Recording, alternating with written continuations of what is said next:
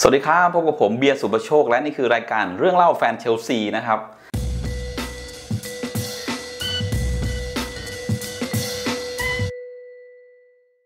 อะก็กลับมาพบกันอีกครั้งหนึ่งหลังจากที่พักไปประมาณ 2 สัปดาห์นะครับ เพราะว่าจากคอมเมนต์ต่างๆ ที่เพื่อนๆแนะนำเข้ามานะครับ ไม่ว่าจะเป็นเรื่องอแสงเรื่องเสียงที่มันไม่ชัด แล้วก็ที่สำคัญเลยนะครับ เรื่องการเล่าเรื่องของผมที่ไม่มีสคริปต์ทำให้ เรื่องอาจจะวกไปวนมาบ้างนะครับ ซ้ำๆไม่เข้าเรื่องสักทีหรือว่ามันอาจจะยืดยาวยืดเยื้อจนเกินไปครับวันนี้ก็เก็บคำแนะนำต่างๆ มา พัฒนาเพื่อจะได้ทำรายการนี้ต่อ โดยที่ตอนนี้เราก็มีโปรดิวเซอร์แล้วเย้ขอเสียงตบมือให้โปรดิวเซอร์หน่อยคือหมูน้อยนั่นเองส่งเสียงหน่อยอ่าโปรดิวเซอร์หมูน้อยนะครับ วันนี้หมูน้อยก็จะมาช่วยดูว่า เออ เราจะไม่เล่าเรื่องวกวนอะไรอย่างนี้ แค่นั้นนะเข้าเรื่องกันเลยนะครับอะก็หลังจากที่ ผมเล่าไปในตอนที่แล้วว่าจนถึงตอนที่เราเกรียนแล้วเราก็อยู่เว็บไหนไม่ได้ เราก็เลยเป็นจุดกำเนิดจุดก่อตั้งของเว็บเชลซี96 นะครับ ซึ่งเป็นเว็บบอร์ดของผมเอง ซึ่งร่วมหุ้นกับแจ็คอินดี้แมนนะน้องชายสุดที่รัก เราก็ก่อตั้งเว็บเชลซี96 มาแล้วเราก็มีเว็บบอร์ดนะครับ ตอนนั้นการโปรโมทอะไรก็ไม่ได้มีช่องทางอะไรมากมาย แล้วก็ไม่ได้โปรโมทมากมาย เพราะว่า ถือว่าเป็นเว็บที่แบบ dark side นะสำหรับจากเว็บอื่นที่เขาพูดคุยกันเรื่องข่าวสารเชลซีทั่วไป เว็บเราค่อนข้างจะคุยกันแบบ dark ๆหน่อยนะครับ สามารถด่าทีมอื่นได้ สามารถพูดอะไรพิมพ์อะไรแรงๆได้นะครับ แต่จริงๆก็ไม่มีใครเขาแรงหรอกมีแต่ผมคนเดียวนะที่เกรียนอยู่คนเดียวในเว็บเชลซี96นะครับแต่ก็อนุญาตให้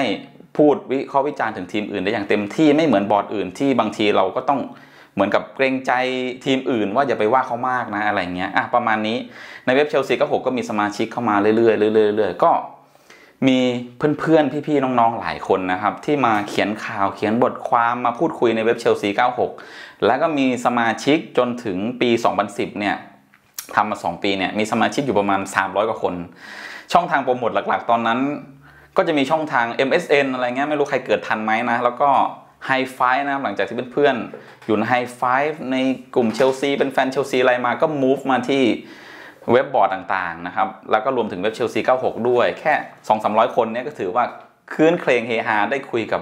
คนที่ชอบเหมือนกันสไตล์เดียวกันอะไรอย่างนี้ก็ถือว่าโอเคแล้วผมก็มีความสุขกับเว็บเชลซี96 มากนะฮะและที่สำคัญนะครับในช่วงที่ทำเว็บเชลซี96 เรามี MSN แล้วเราก็มี High Five ทำให้ผมได้เจอหมูน้อยในปี 2010 นั่นเอง ขอเสียงปรบมือให้หมูน้อยอีกทีหนึ่ง เราเป็นแฟนเชลซีเหมือนกัน การที่ฮะเสียงปรบมือเยอะโอเค เดี๋ยววันหลังวันหลังเราค่อยมีเอฟเฟกต์เสียงปรบมือ เรายังไม่ได้ต่อมิกเซอร์นะครับอะก็มาทำเว็บเชลซี 96 ทำให้เจอแฟนคลับเชลซีในประเทศไทยเพิ่มมากขึ้นหลังจากที่ยุค 90 ก็มีเชียร์กันอยู่ 2-3 คนตามร้านนะครับ และที่สำคัญเว็บเชลซี 96 เนี้ย ด้วยสมาชิก 300 กว่าคนเนี่ยก็ทำให้ผมได้เจอกับพี่แดนนะครับพี่แดนในปี 2010 นะครับ แต่เรายังไม่เจอตัวจริงกันในปี 2010 เรารู้จักกันเนื่องจากพี่แดนน่ะเป็นชาวต่างชาติที่เป็นแฟนเชลซี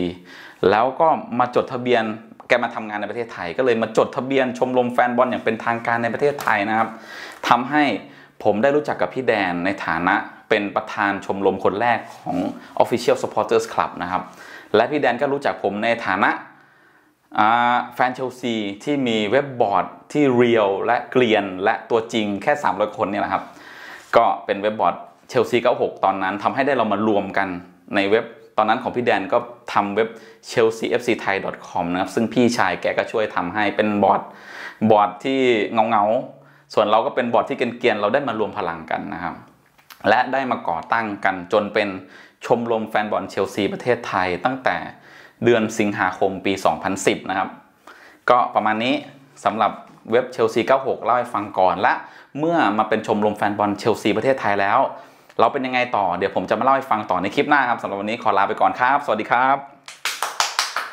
ย่า